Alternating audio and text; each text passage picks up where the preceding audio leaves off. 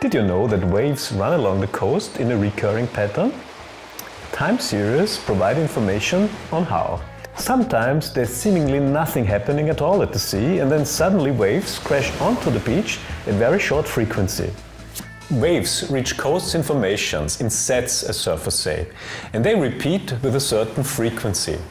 How energetic, how high they can become is essentially determined by the wind which sweeps over the water and unloads its energy there, the course of the tides, determined by the constellation of the moon and the sun, and the underwater geography.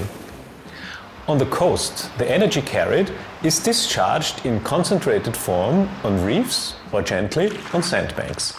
All this can be mapped in a complex system of time series, which can be used to predict the wave situation very precisely over days, and that for every spot worldwide, as surfers call it.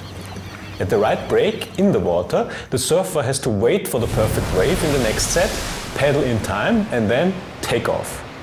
To do this successfully, you have to learn to read the waves, as the surfers say, to understand the time series, how and where they come in. Surfers say, don't forget, life is a time series.